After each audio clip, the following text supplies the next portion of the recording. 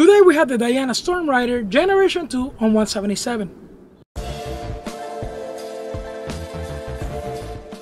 The Diana Stormrider Generation 2 on 177 from factory comes with a moderator. Moderator that you can remove 19 inch barrel. Overall length of the rifle is 39 inch long.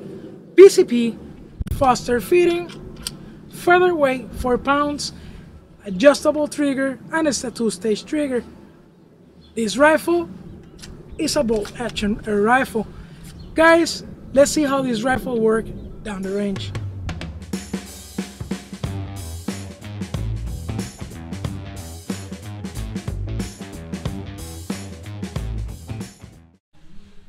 His 100cc air tube has a maximum pressure of 2900 psi.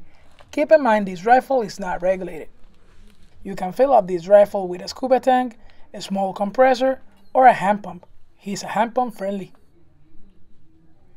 There is two different Diana Stormrider Generation 2. This one have the gauge under the stock. There is another version that have the gauge but the field pro port.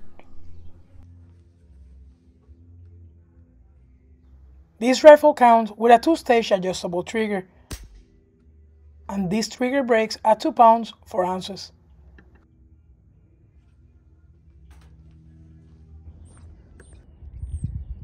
Diana claims 1050 feet per second on 177. Let's see if this rifle can reach that velocity.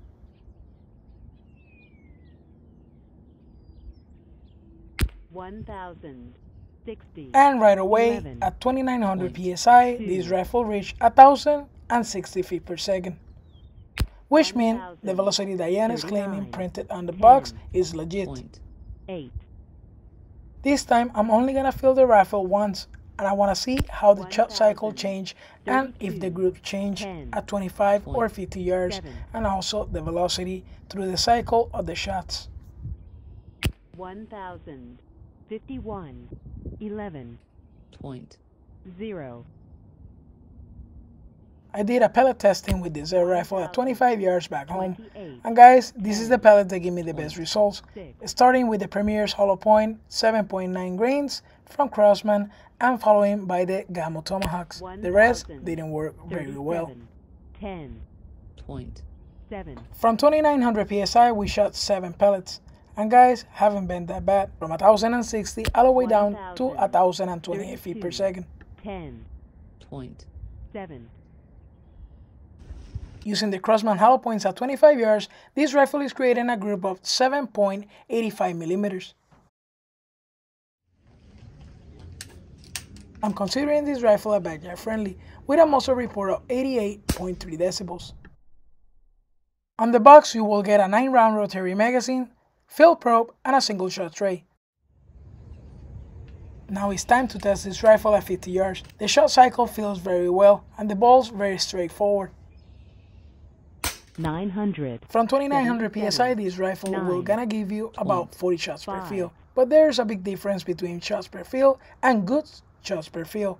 And guys, this rifle will give you about 25 good shots per field and the sweet spot for this rifle is right around 1500 psi. And yes, you have to chase the group, depends the velocity the rifle is shooting. 67. So I highly recommend to shoot the rifle on the sweet spot, four. that way you don't have to chase the group. And keep in mind, most likely this is gonna happen on all the unregulated air rifles. 951. 9. There's a few different variations Zero. of this rifle. This one is a Diana Stormrider and the other one is a Snow-Peak PR 900. But both are made by Snow-Peak. Point zero.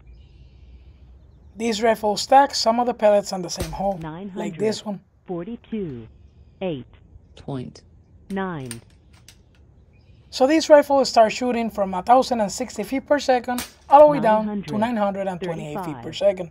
8. And that's exactly what an unregulated rifle does.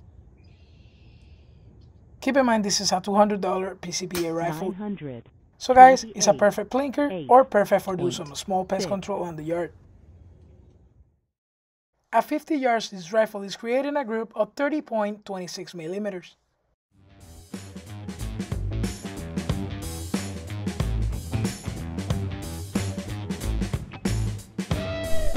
Overall, the rifle did very good at 25 yards. Not so good at 50, but I'm happy with the group that creates. Guys, keep in mind this rifle is not regulated. First thing this rifle is screaming is for a barrel band.